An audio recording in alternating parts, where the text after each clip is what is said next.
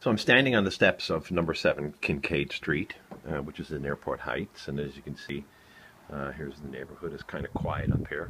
Lots of kids around, um, and a real child-safe neighborhood.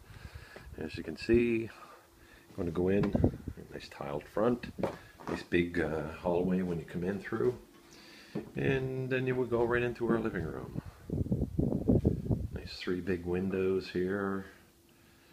As you can see, we have a musician living here for sure.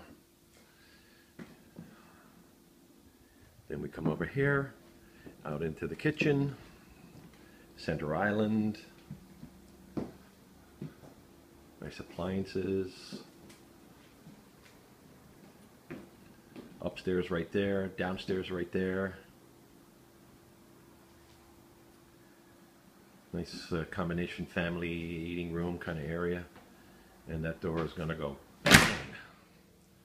So we got a nice big garden out in the back, as you can see. We'll go see that later, but